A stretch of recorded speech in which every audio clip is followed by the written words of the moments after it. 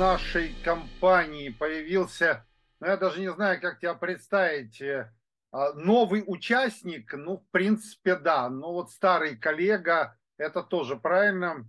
А, друзья, имею честь представить э, Виталий, человек, который любит бокс, знакомы мы, не знаю, сколько Виталий, э, ну, лет 10, наверное, точно. А, к сожалению, мы в жизни не встречались, больше знакомы по интернет. Но вот думаю, что у Виталия э, появится в скором времени камера, и мы можем, в общем, как бы... Э, у него сейчас поломалась э, камера, и вот как только, в общем, у него появится, мы сделаем все для этого возможное. Виталий будет принимать с нами участие как бы уже полноценно.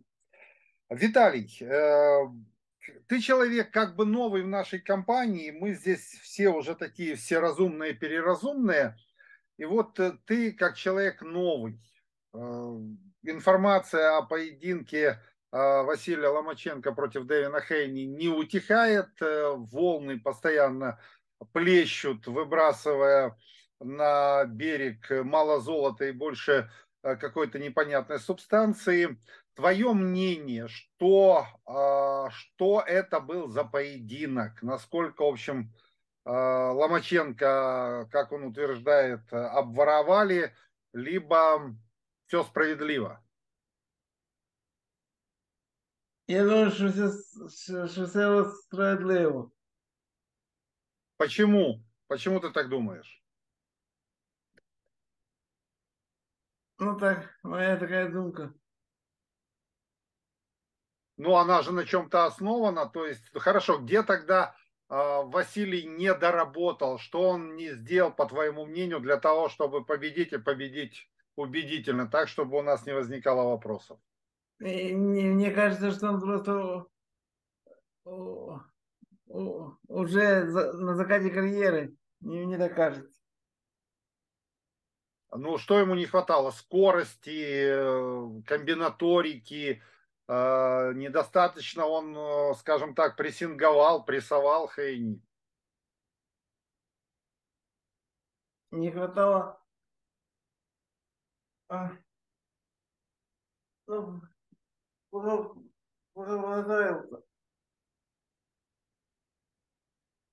Фанатизовался.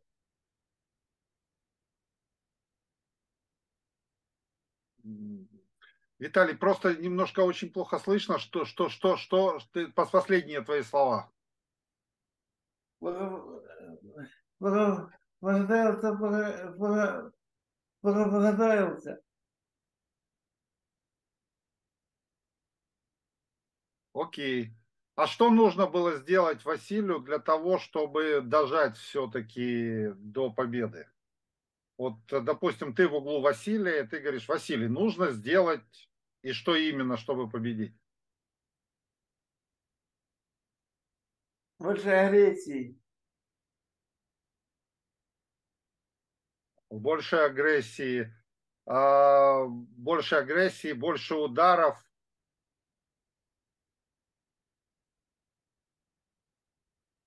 Да, всего немножко.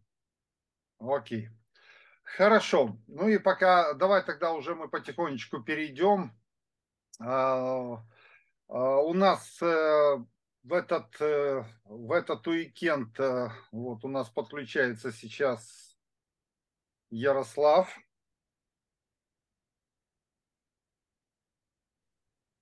Ярослав, привет.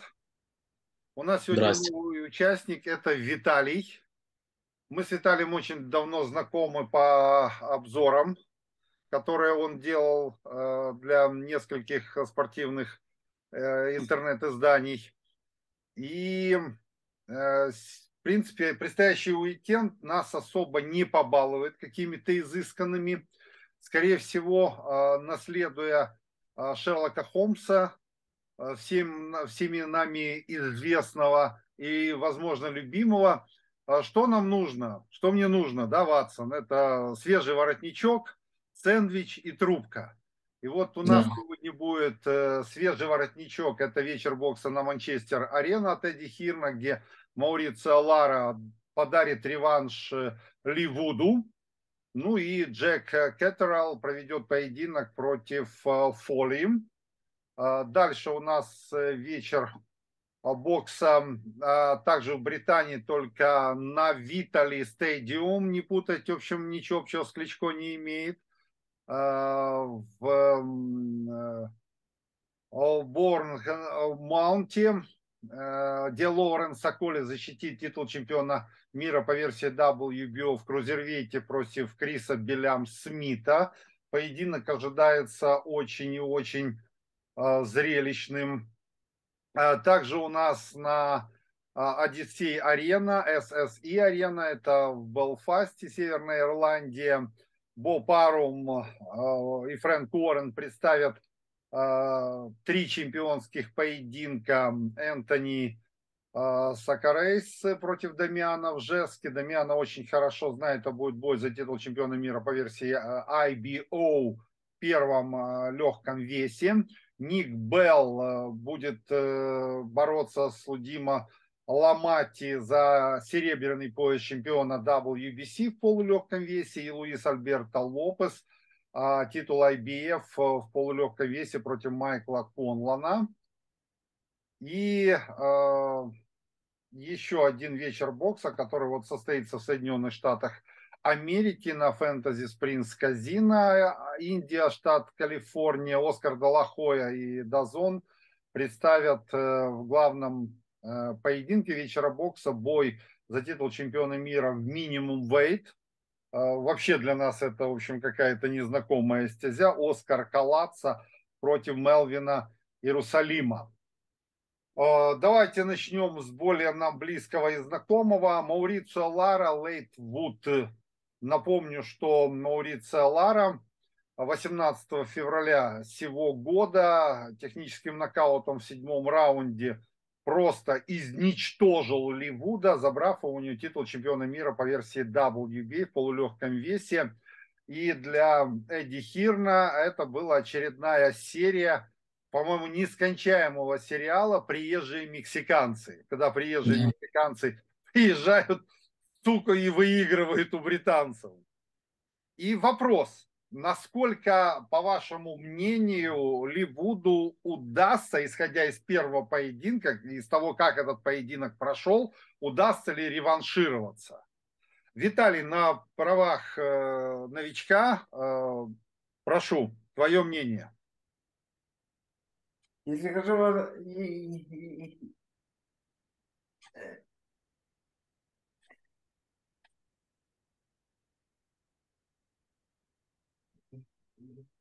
сделает выводы, э, что не получилось, э, назовется, то вполне вероятно, что, то, то реванш может быть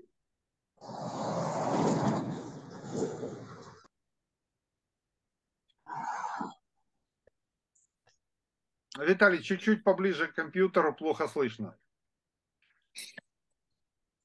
Э, ему нужно При этом. сделать э, выводы и, и хорошо подготовиться, и вполне вероятно, что э, реванш может состояться. Окей, хорошо. Толяныч, приветствуем тебя. У нас Виталий, Добрый. Э, новый, новый наш коллега. А вот проба у нас пера сегодня. Добрый вечер, Виталий. Итак, э, матч-реванш Маурица Лара, Ливуд. Э, Толяныч, ты врываешься в эфир. Давай, дадим тебе возможность. Состоится Что могу реванш? сказать? Я Конечно, состоится реванш. Как состоится реванш? Бой будет. Это уже сто процентов. Мы будем э, смотреть. Но, как мы говорили в первом э, зуме, в первом бою, тогда мы тоже Ларе давали шансов больше, чем Вуду. Как-то странный реванш, потому что был выкинуто полотенце, было выкинуто полотенце, здесь как бы вопросы должны были закрыться. Но, видимо, мафия мафия везде мафия. Ну и сделали Лара человек бедный. Я сегодня прямо смотрел про него такой маленький фильмец. Он там показывал, где он занимался боксом, где он начинал. Там такой вот, э, как дворик, под, под навесом какие-то груши мальчики бьют, а где-то подворотник кого-то грабят, с соседней улицы э, какой-то дом вы, выносят. То есть такой район не очень. И еще что, э, показывали э, именно его жизнь. Он кушает на базаре, приходит на базар, кушает там, где про санитарию слышали. Нет, никогда не слышали. То есть такой он. Я таких боксеров люблю, потому что это человек, который добился всего сам и стал чемпионом мира. Э, как мексиканец, он для мексиканского бокса хороший мексиканец, хорошим ударом. То есть, как мы говорили в первом поединке, у Буда проблема с левой стороной. Если бить его слева, то он пропускает всегда эти удары. Я думаю, в реванше будет примерно то же самое, только э, то же самое будет. Я не думаю, что за такое короткое время кто-то что-то изменит очень сильно. Я не думаю, что Вуд улучшит свою защиту до такой степени, что слева не будет заходить. Я смотрел, сегодня прям посмотрел первый бой еще раз, чтобы себе напомнить, что там было. Я видел еще проблему Вуда, что если э, закидывать после левого правый оверхенд, можно очень хор- хорошо по Вуду попасть. То же самое, у Лары есть один шанс выиграть, только досрочно. Только досрочно э, по очкам, это я могу дать миллион процентов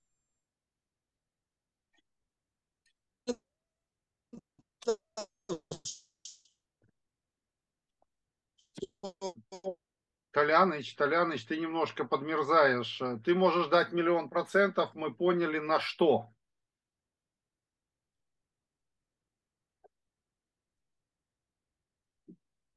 Э, Ярослав, спасай ситуацию. Да, ну, Толя там не включается. Да, я, я, если честно, такой бокс не люблю. Ну, бокс Лары.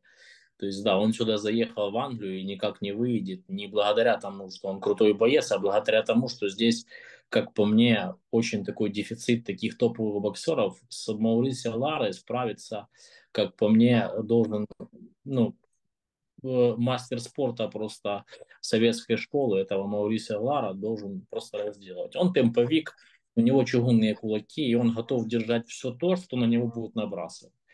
То есть будет все принимать, э, на никакой защиты у Лары абсолютно нету. Э, где-то он погуляет первый-второй раунд и снова пойдет в такую рубку прям Месилова, то есть в которая, ну, скажем, люди э, бокса это не прощают, скажем, хорошего удара. Что э, есть, что нужно против Лары, это, конечно же, стопинг у этих людей просто нету стопинга, ни у Джоша Уоррентона, ни у Вуда. Может быть, немножко у Коннеллана он есть. Но, ну, ладно, к Коннеллану вернемся. Вуду нужна крепкая двойка, сильный джеб. Э, надо понять, э, надо дать понять Ларе, что он натыкается очень на больные удары, которые идет в прямую, потому что Лара несется на тебя, его нужно сбивать. К сожалению, Вуд пытается на таком английском челноке войти в дистанцию, сделать свою комбинацию и уйти. Но, к огромному сожалению, пока еще Лара молодой, не узношенный, но относительно молодой. И такие боксеры, как Лара, быстро постареют. Я думаю, вы со мной согласитесь. Потому что 2-3 года и от Лары, от его организма ничего не останется. Потому что урон он наносит себе просто потрясающий. Поэтому я считаю, что э, у Вуда есть шансы в каком плане? Ну, проведя работу, ну, опять же, постоянно уходить от ударов э, Лары, входить, бить джеб и максимально уходить ногами.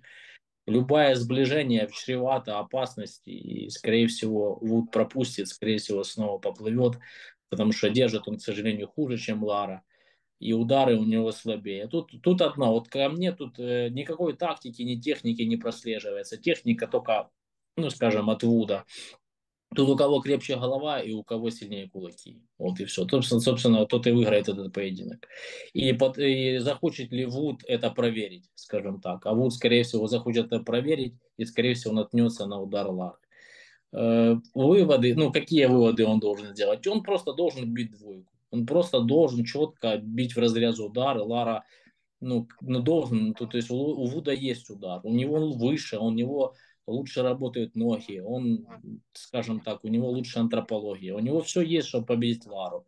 Но у него нет вот этой двойки, есть, есть желание балансировать, как она-то ходит на такой как бы ветке. То есть с Конолом он это тоже демонстрировал. Зашел в дистанцию, он, по-моему, в первом или во втором раунде был в таком хорошем нокдаун, нокдауне. И спасли его от поражения тогда срочного, просто тот раунд закрылся.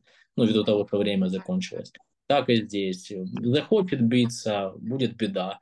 Захочет погулять, поиграть джебом, немножко дольше протянет. Но опять же, я все равно склоняюсь к тому, что пойдет он бодаться с этим Ларой и, э, ну, и, и пропустит какой-то удар. Хотя, как по мне, Лара должно, давно должен был заканчивать эти игры на английском боксе. Просто здесь нету таких классических боксеров, ну, как Джош Тейлор, может быть, ну, весом больше, ну, там, я не знаю, или таких утекаемых боксеров, как Санни Эдвардс, э, ну, то есть, э, вот в данной свече просто Лара попал на, на такую волну, на такое течение, где этих боксеров здесь нету.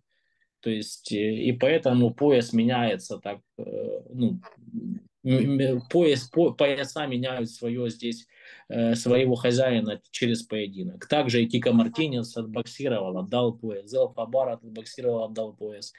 Э, Кид Геллахет, я думал, что он держит получше. Он, оказывается, вообще не держит ничего.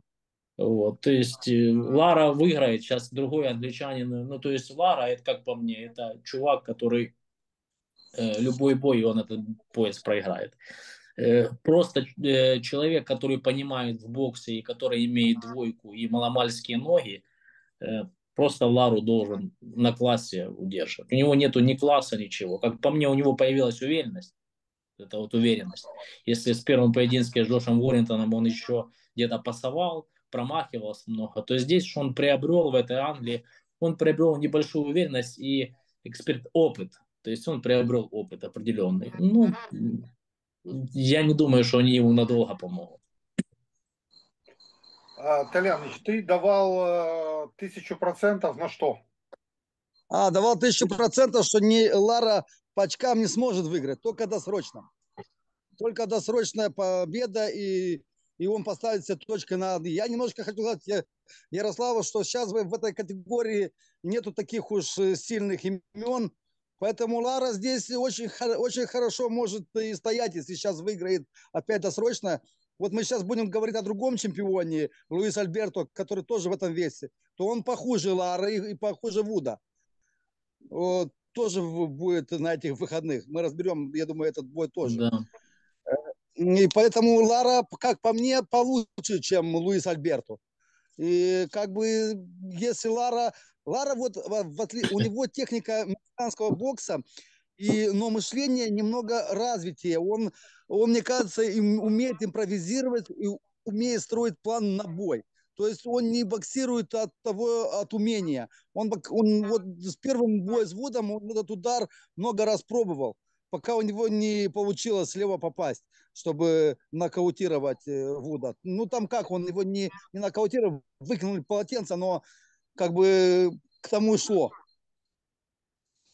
Так что я, я бы Лару в этом, в этом весе, если он сейчас он еще раз вы, выиграет Вуда, я бы поставил его одним из сильнейших чемпионов этого веса.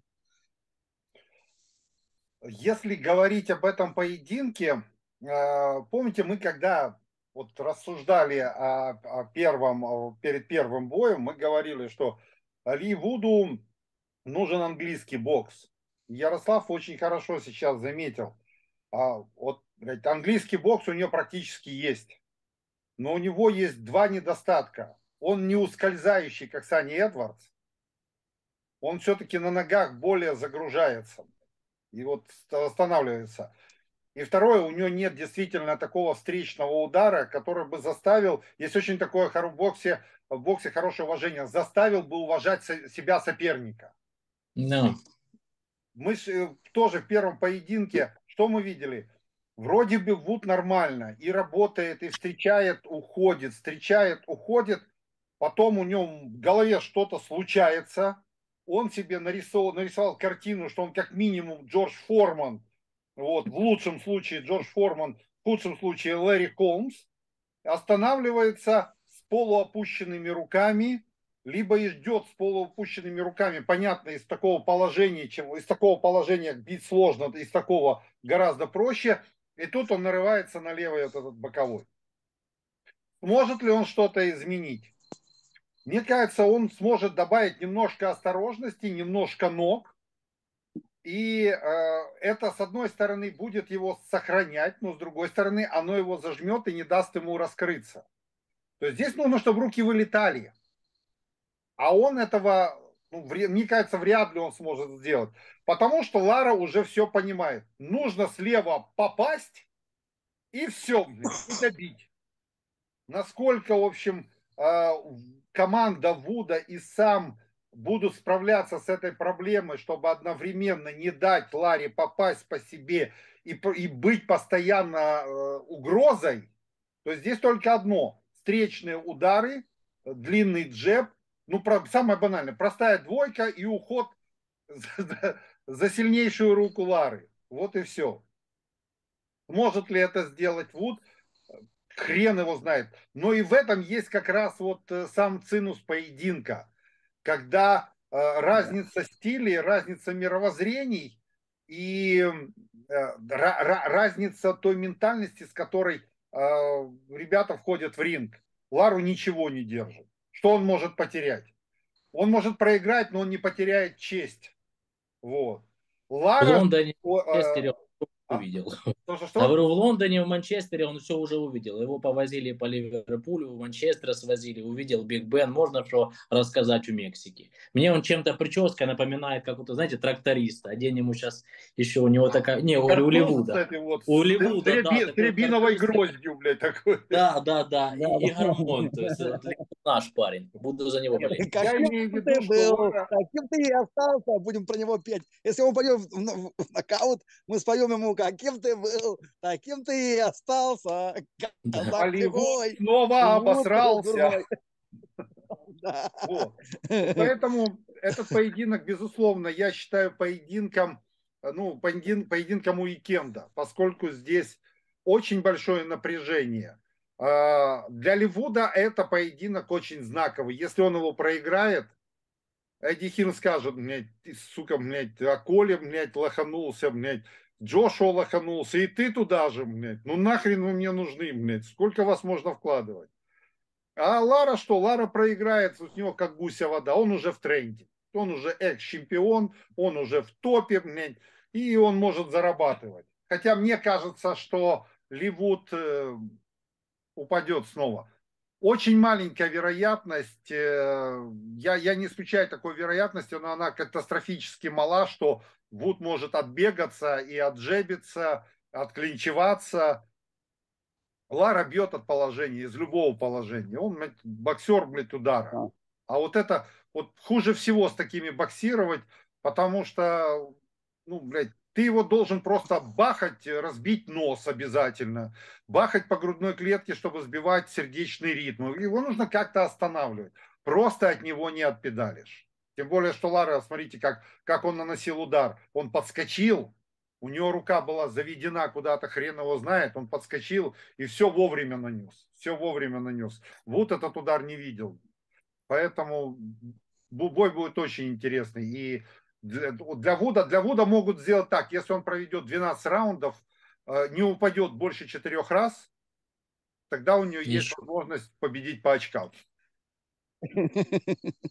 Да, он падает, он, он, он не держит, и справа постоянно, постоянно э, у него открыто. У него вот именно вот этот вот, как у многих любителей, он руку, когда бьет, э, правую опускает. Постоянно. Это, это у него вся карьера такая была. Да мало того, что он опускает руку, хрен с ним, он еще подбородок поднимает. Знаешь, вот это вот. Знаешь, такой вот, будто нехватка кожи, знаешь, там и рука тянется, и голова закидывается как в анекдоте, говорит, э, говорит, это бегемот, э, познакомьтесь, посетители, это бегемот, у нее рот открывается, попа закрывается, попа, рот закрывается, попа открывается. Почему? Нехватка кожи. Окей. Еще у нас будет поединок Джек Кеттерал. В феврале 22 года он проиграл Джошу Тейлору, проиграл довольно-таки спорно, но проиграл.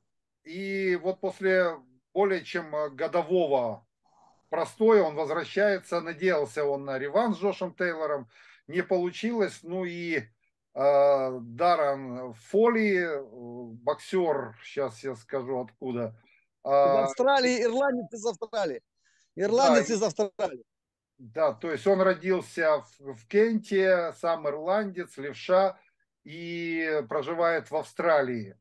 Ну и, в принципе, двое, мне кажется, поединок сделан под Джека Кеттерала, чтобы он сбросил всю ржавчину, ну и вернулся в какую-то обойму. То есть слишком долгий, простой был, так что поединок под Джека Кеттерала должна быть убедительная победа, и мне кажется, она таковой и будет.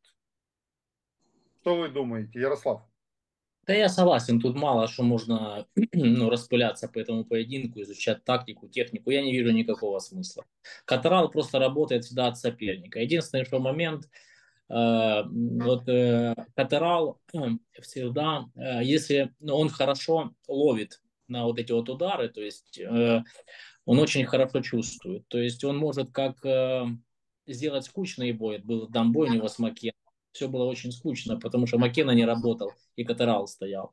А Джош Тейлор задал темп, то есть он его где-то вычитал. И да, Катарал этим славится. Он подбирает ключи, именно он под Он все-таки будет ждать этого фоли. Э, я не скажу, что это будет суперзвездой Катарал каким-то, потому что ну, он непродаваемый. А бой под него, да, чтобы правильно вы сказали, стряхнул ржавчину, вернулся куда-то и, опять же, будет у него большой бой, я думаю. Ну, ему организуют. С кем, это вопрос. Ну, куда-то повезут. Но звездой не будет. А, Толяныч? Я считаю, что Катарел это топовый боксер это, это весовой категории. Я соглашусь, что он не продаваем. Это, это болезнь Андраде. Вот как Андраде в своем весе, так и Катарел в своем это очень-очень чувствительный боксер. Он э, защищается полностью всем телом, то есть он быстро отпрыгивает, он чувствует ритм, имеет отличный тайминг, бьет, может быть, не, не нокаутер, но убьет жестко. Э, не хватает ему немного антропометрии, может быть, и, и сильного удара. А так по школе бокса к нему вообще нет претензий. Что э, к его сопернику, ирландскому этому. Вот. Но это как э, палка для того, чтобы сбивание орехов. Вот он выглядит как палка для сбивания орехов. Это очень неторопливый боксер. Очень долго ждет, э, работает на джебе. И джебом как он работает? Он именно им тычет, именно не то, что бьет, что-то он именно тычет. Практически рука у него идет вот как зомби вперед, постоянно одну руку. Э, посмотрел там один бой его, где он там одного парня, там не знаю, как его звали, даже не знаю, знать не хочу, э, в одном раунде, втором, не помню, второй раунд или какой, он там отправил его два раза в, нок, в нокдаун и, от, и остановили бой. То есть и за, за, за счет этого, может быть, поднялись его дивиденды и сейчас этот бой с Катареллом. То есть, то есть я считаю, что Катарелл должен этот бой полностью выигрывать, даже, может быть, и досрочно, для того, чтобы иметь, как, э, как говорит Ярослав, быть продаваемым. То есть, чтобы кто-то его заметил, э, именно больше агрессии проявлять.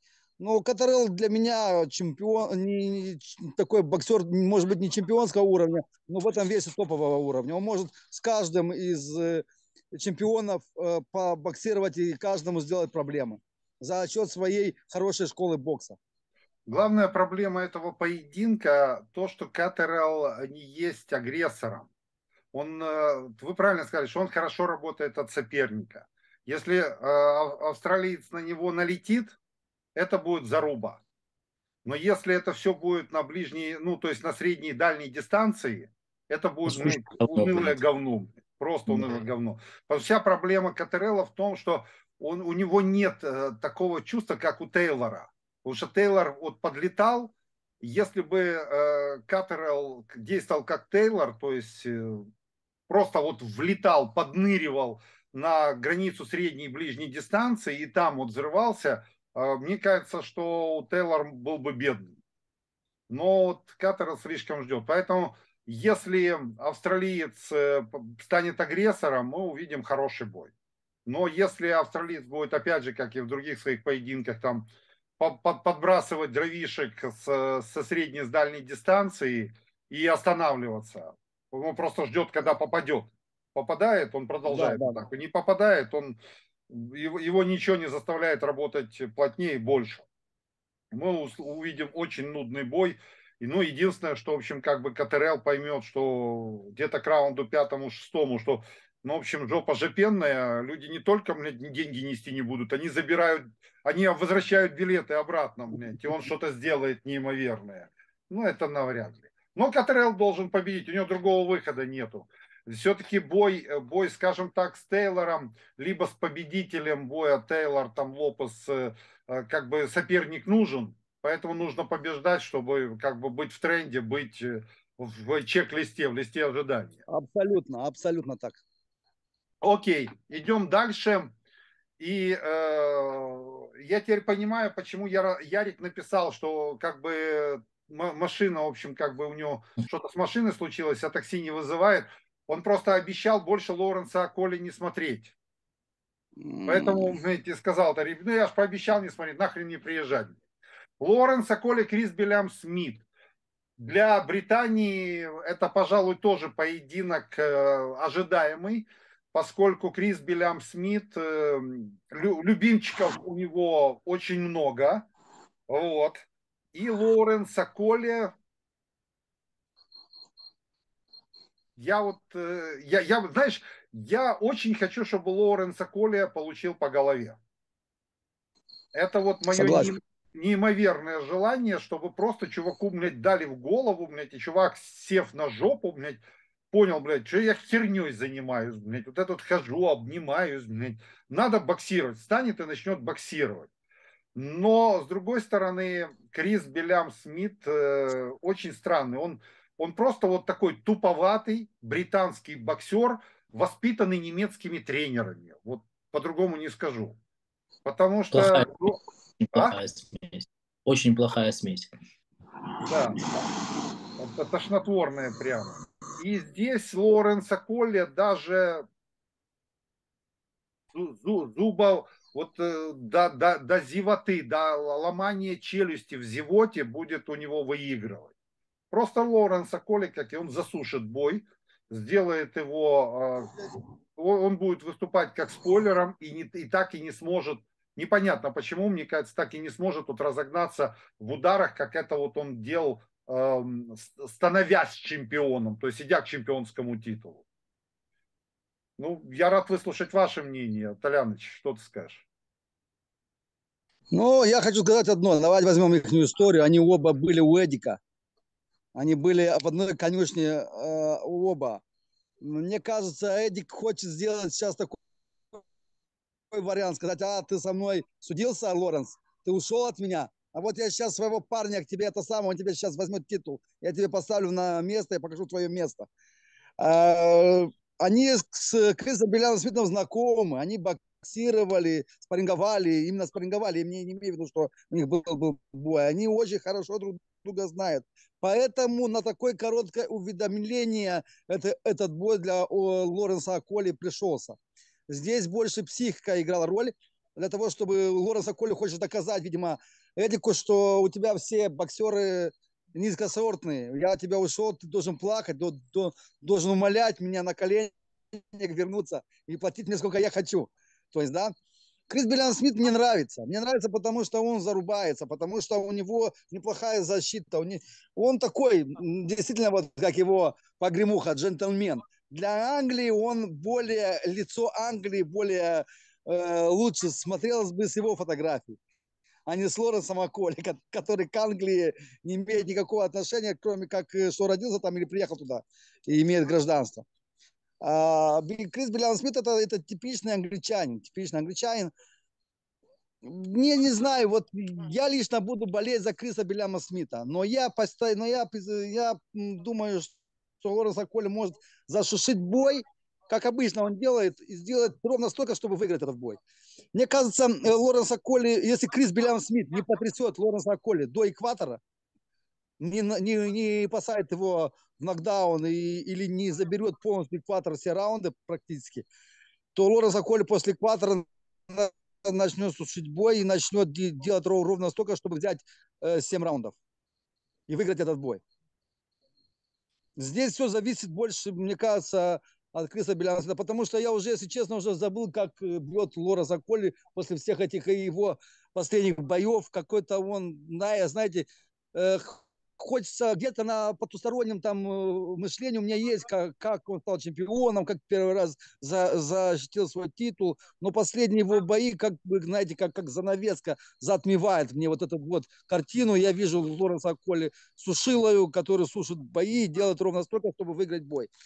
А Крис Белям Смит, я желаю, чтобы он выиграл. Если честно, я буду за него болеть. И я считаю, что у него есть шансы выиграть. Есть шансы, но знаете, как я бы сказал, 60 на 40 в пользу Аколи все-таки. Потому что Аколи может опять пробудиться и бьет он не хуже Криса Беляма Смита, может быть, даже мощнее, может быть, по функционалке даже лучше, чем Крис Белям Смит. И у него больше шансов выиграть. Как бы так. А Ярослав, что ты скажешь? Я думаю, что да, Лоуренс Аколи жутко скучные последние поединки но это просто чувак, который просто феноменально умеет пользоваться своими габаритами. Каким образом? Не в плане того, что он там, он хорошо, ну вот, я, э, он мне тоже не особо нравится, я не знаю, за кого болеть, ни за кого в этом поединке.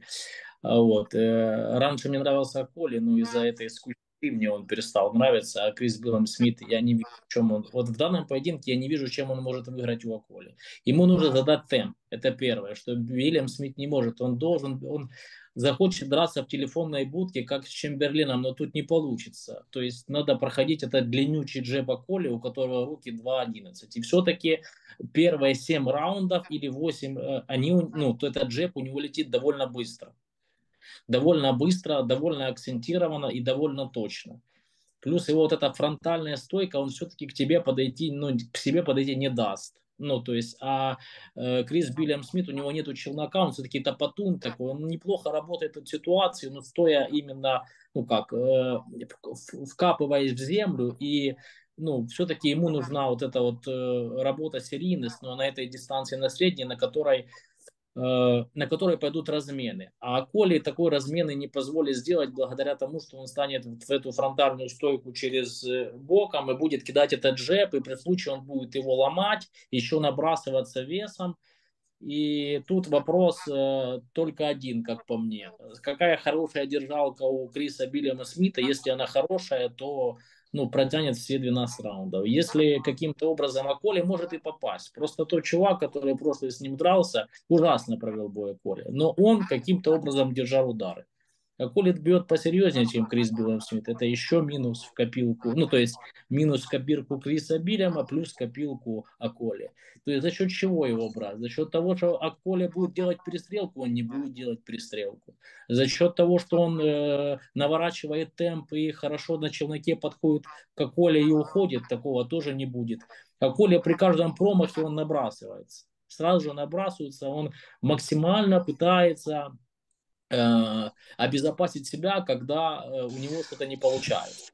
Вот. Плюс э, в любом случае, вот я смотрел его последний поединок, э, я, мне вообще непонятно было, почему он бегает как идиот, по, по, по, имея такие габариты по кругу, ну вот там вообще ноунейма, ну просто себя тем самым ну, э, просто себя, э, скажем так, ну, обессушивая физически, потому что такие метр девяносто шесть нужно, ну, как бы питать. А так как у тебя классные габариты, нахера ты бегаешь, ну, как идиот, если ты можешь пользоваться джебом? просто, Ярослав, на самом деле. Он не знает, что делать. Да, да. Вот это, Некоторые конечно, бьют двойку, может... извини, есть такое, знаешь, выражение. Не зна... Если ты не знаешь, что делать, бей двойку. Не умеешь бить двойку, стой подальше. Да, да. Может быть, опять же, каким-то образом у Аколи кончится бензин, ну, в каком-то там восьмом раунде, и и Крис Биллем Смит, ну я просто фантазирую. Мы ж, я же сказал, что нету шансов. Да, и Крис Биллем Смит вдруг, я, я вдруг, да. вдруг каким-то образом захочет просто пойти в инфайт, и, и у Аколи будут руки, то есть тряпичные, но я думаю, что вряд ли такого произойдет, потому что все-таки он будет работать на дистанции. Поэтому, как для меня, здесь шансов нету никак, никаких у Криса Биллима Смита. Не знаю. У Смита есть одно, что если все-таки он, ему нужно, как правильно Толян сказал, ему нужно держать темп. Темп не давать э, дышать. Но быть одновременно э, таким, знаешь, собранным на ножках, как вот, э, скажем так, э, тот же так самый... У него нет, у него нету ног. Да. У него нету, он не может подойти и ударить там в печень, чтобы зашушить. Он растется, он может на ударе поймать, но тут нужны ноги, тут войти нужно. Длиннючие а, ну, руки, поле стреливаются дальником и все. Как Ничего раз тут не я и приводил к тому, что ног у Беляма Смита нет. Он просто идет да. на соперника, делает это, удары видны за, за, за километр, и для даже не топового Аколи, то есть как бы встретить его, остановить, войти в клинч, где-то может быть там просунуть апперкот какой-то, вот это вот и все. То есть э, зевота, зевот, зевотный поединок, который может перейти, в общем, в блевотный рефлекс. Ну, не, не дай бог, так, не дай бог, не дай бог, если я еще один бой Аколи увижу такой, как был предыдущий, то я, я с Яриком, наверное, за руки возьмусь. Но, но вам недалеко идти один к одному. Окей. Еще а, одно, что, что я хочу сказать. Мне кажется, знаете что, все равно Крис Биллян Смит в этом весе будет чемпионом. Потому что Аколи, мне кажется, подымется в. И все-таки, мне кажется, если даже не сейчас, то в другой раз будет. Потому Слушай, что пусть он останется... И, не, знаете, Потому что когда Баду Джек чемпион, а, а другие не чемпионы, такие как Крис Биллян Смит, допустим, Крис Биллян Смит, я думаю, Баду Джека просто разнесет.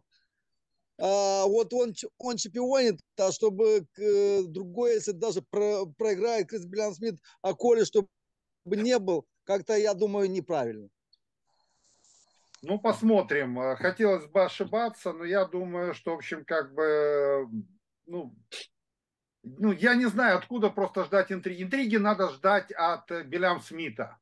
Насколько он... Да. У него, в принципе, знаешь, как бы э, хватало всегда сил вот именно в последних раундах как-то подсобраться, да, там мобилизировать свои силы, но, как говорится, с цуком мять и околем мять не пальцем делом, он тоже да. умеет это все. Поэтому вот второй поединок, который будет очень интересен. На SSE Арена э, в Белфасте Луис Альберто Лопес будет защищать свой э, титул против э, Майкла Конлана. Это поединок, в котором Майкл Конлан попытается отомстить за унижение Джоша Уоррингтона, у которого, собственно говоря, титул и был забран в декабре прошлого года.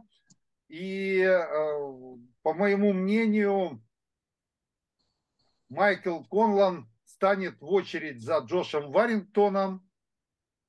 И как бы ничего не случится. То есть Луис Альберто Лопес защитит титул, мне кажется, без проблем. Я а... думаю, проиграет титул. А? Давайте пообсудим. Я думаю, он проиграет титул. Почему? Мне кажется, э, ирландец намного лучше. Я вообще считаю его одним из лучших ирландцев сегодняшних, э, которые есть боксеров. Просто он э, Вудсу, Вудсу, когда он проиграл, он, он выиграл полностью бой. Просто в конце за, задремал, пропустил и упал за канаты. А так он весь бой Вудса, э, Вудса проиграл. Он больше, он сильнее, он техничнее. У него лучше школа бокса. Он один из, из олимпийской сборной Ирландии по, по любителям был. Он более фокусированный. Луис Альберто Лопес – это мексиканец, который еще, еще очень сырой. Допустим, он когда пропускает, он учится смягчивать удар и постоянно отводит голову в сторону, не видя соперника. Он хочет сделать удар немного, чтобы был мягче, и он вообще гол, постоянно отводит голову, постоянно выпрыгивает. Э, нет у него никакого такого какого-то тайминга. У, у него руки идут в одну сторону, ноги в другую сторону. Сказать, что он какой-то нокаутер и бьющий, нет. Просто очень сильно функциональный, очень сильно функциональный. Просто он не устает. И все, и много выбрасывают. Я бы не сказал, что я считаю, что Луис Альберто, ты не поверил мне, что я тебе была верна, но он, он проиграет. Я так думаю. Он отдаст поезд. Ярослав, что поезд... ты скажешь? Я тоже думаю, что он проиграет. А, я думаю, что он проиграет, потому что, ну, правильно все Толя сказал, Майкл Коннан лучше, лучше технически оснащен, габариты на 10 сантиметров он повыше его на 12 сантиметров, по-моему, руки у него подлиннее. Он умеет пользоваться, в отличие от э, того же Вуда. Э, двойка у него будет присутствовать, будет присутствовать джеб, и он будет ждать этого э, чувака Лопеса на свои руки. В принципе, и у, удар по у Конлана есть. Он те поединки, которые выигрывал решением, он каждого, каждого дядьку сбивал, как правило. То есть, в принципе, может. Плюс, э, к тому же, я считаю, что у Конана неплохая позиция. То есть, как э, вот я, взгляните на тот список у того же Лопеса, то там просто одни бомжи какие-то, мексиканские до Уоррингтона. Ну, вообще. А есть такое все-таки выражение, и есть такая, скажем так, составляющая, как класс. Ну, мы всегда смотрим, там, вроде Джошуа должны побить какие-то Франтоны или прочее, может быть, у них есть шансы но есть такой класс боксеров, ну, и не класс боксеров, а именно класс. Вот, мне кажется, просто классом Коннан лучше. Единственный момент, который у Коннелана всегда западает, это его выносливость.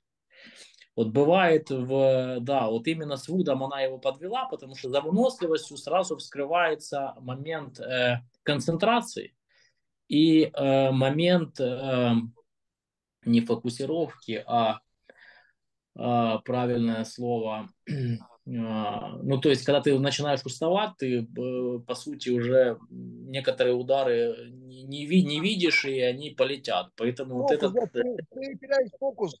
Правильно сказал, фокус это называется. Да, теряешь он потеряет, фокус, он... ты, ты, ты не контролируешь ни дистанцию, не видишь ни удары соперника, не можешь не уйти ни э, на, на фазе. Это фокус называется. Я просто говорил за Дэвида Хэя в позапрошлом зуме, и я забыл тоже, э, то есть он что он потерял э, Тони Беллью, скорость, инерцию, фокус и ну ладно, я, может, вспомню. Ну, в, в итоге вот есть такой момент здесь, что вот Конлан, я не сомневаюсь, первые там 5-6 раундов он будет выигрывать.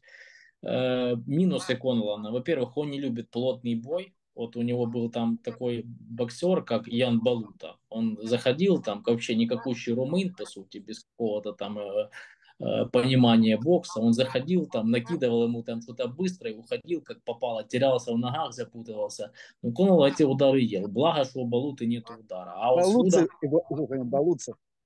Да, Балута или Баута, что-то такое было. Ну, Балуца. опять, Балуца, в принципе, да да, должны быть, ну, я у Коннелла довольно-таки, ну, 4-5 так, ну, поединков с, с Никитиным он там боксировал э, постоянно, он там у него на Олимпиаде выиграл, ему при, привезли его, по-моему, в Белфаст или в Америку, он его там выиграл, тоже смешно было. Вот. Ну, в принципе, оппозиция у него, ну как, не сказать, что у него сверх, но на, на порядок выше, чем, чем у этого Лопеса. И благодаря этому опыту там тот же тренер Адам Буд, э, тренер Хэя, ну, как бы, ну, я не скажу, что он сверхтренер, но кое-что умеет ставить поэтому я думаю, что, в принципе, на классе должен выигрывать, но, опять же, здесь вскрывается у меня вот эта одна составляющая, если все-таки Лопесу подскажут, что ну, твоя задача только одна, будешь пропускать много, Э, ну, взвинтить темп каким-то образом и э, зажимать этого Коннеллана, если тебе удастся именно в поздних раундах попытаться вырвать победу. Но опять же, может побывать иногда, я не знаю, как Лопес держит эти удары. Если держит круто, потому что Уоррентон это вообще, не, не, не, ну, не, у него удара там абсолютно нету никакого. То есть Уоррентон бьет, там у него с 30 побед, если не ошибаюсь, 7 нокаутом. То есть он ну, вообще не бьющий. А Конан может ударить, может зацепить, скорее всего, он его и зацепит. Поэтому, не, не, ну, как по мне, удар у Конана лучше.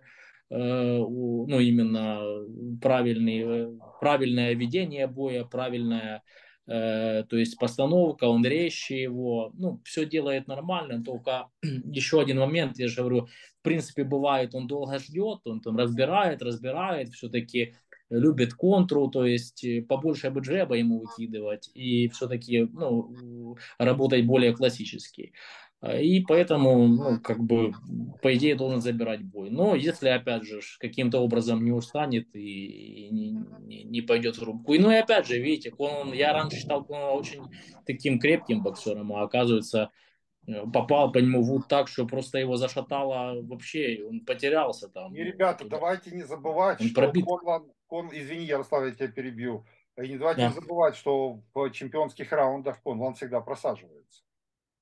Ну, я же за это и говорил. Да, да мы за это и говорим. Устает, да, он устает, и, и, ну, интересно будет. Ну, по идее, на классе может, может отпедалить где-то, отклинчевать, и может раньше зацепить. Вот как по мне, он должен попасть по этому чуваку. Ну, сто процентов.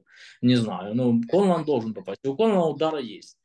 Ему не нужна серия, он может одиночным его срубить. Ну, пропустит э, этот, а кто он, аргентинец, да, или мексиканец, я не помню. Луис Альберто Лопес?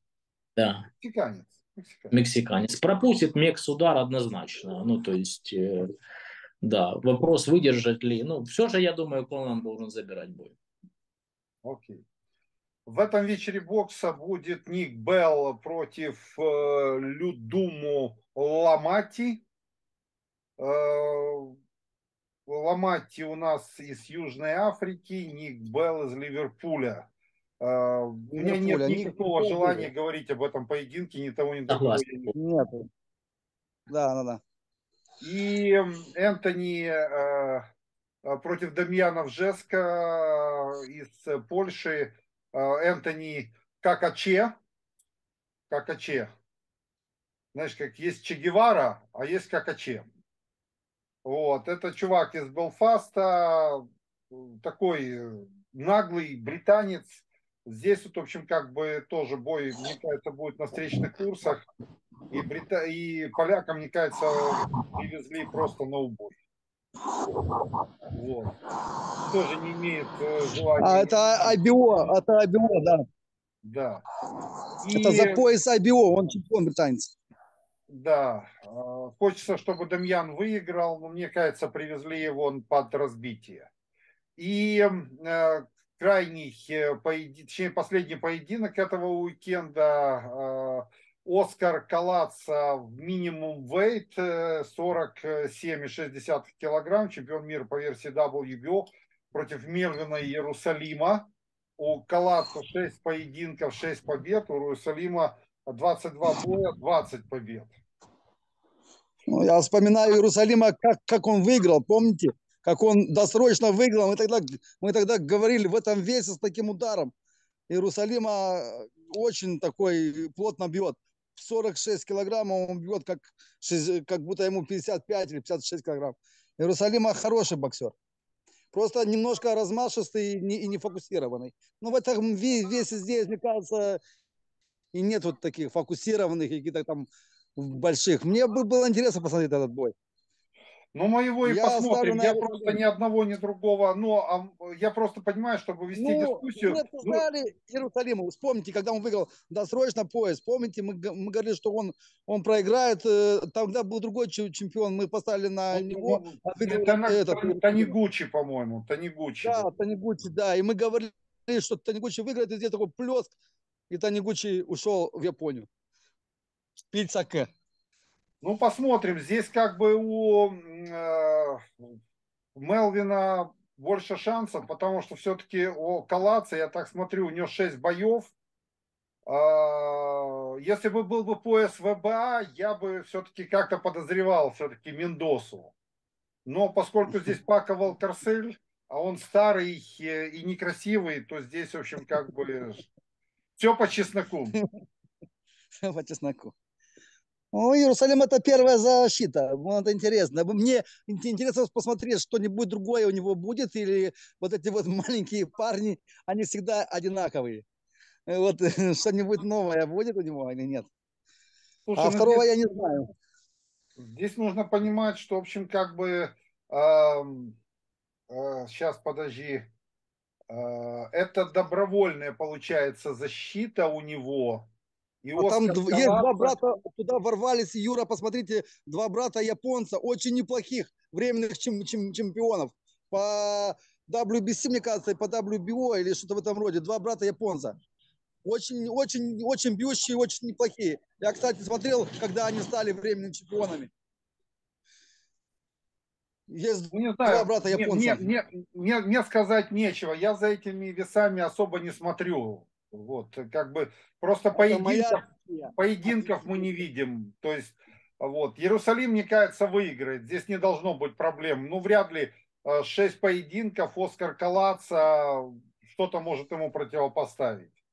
Тем более, что у Оскара Калаца 6 боев, 6 э, побед, 4 победы э, техническим нокаутом. Только вот в последнем бою, в пятом раунде, он нокаутировал э, своего соперника, у которого 15 было побед, один проигрыш. Ну, посмотрим. Просто лить воду неохота, а Давайте лучше уже тогда Если бы я знал бы этого Калацо, я бы, я бы им еще мог как-то. Я только Иерусалиму, э, когда он выиграл поезд, тогда один бой только, только его посмотрел. Как бы для этого веса, я считаю, он бьющий боксер. Если он и сейчас защитит пояс и выиграет нокаутом, будет очень хорошо. Ну, для этого, как говорится, будем посмотреть. Ребята, в этом уикенде еще в этом уикенде еще дерется Алексис Роча будет драться с, э, может, слышали такого мексиканца? Никто не слышал Вельтера такого? Ну, Алексис Роча, да, слышали, но это ж не чемпион. Ну, слушай, мы все поединки не можем обговаривать. Ну, да. Когда не, я просто хотел заметить, что это как бы крутой мекс, ну как крутой мекс, который, ну, в принципе, он развивается, Делахо его ведет, ведет, ведет. Сейчас он побьет старого деда 30, 35-летнего Яна. Ну, мне было бы интересно, он очень крепко держит, и он очень комбинаторен. Слушай, Реймон Форд будет драться, тоже перспективный чувачок. Да, то есть хороший. мы как бы, э, то есть я, я спрошу, я эти поединки выложу. У меня только, yeah. блядь, просьба, блядь, посмотрите их, чтобы, блядь, можно было их обсуждать. Mm-hmm. Вот и все. Вот. Ребят, на этом обнимаю. Э, спасибо, в понедельник увидимся. Завтра, как я уже сказал, зуб даю 21.00 э, прямой эфир. Вот. Э, в пятницу будет тоже в 21.00 э, украинская зона, эм, зона украинского боксу. А, и в субботу и рано утром воскресенье будем общем смотреть поединки. В понедельник встречаемся, будем обсуждать. На этом обнимаю. Спасибо большое и до понедельника. Все, удачи.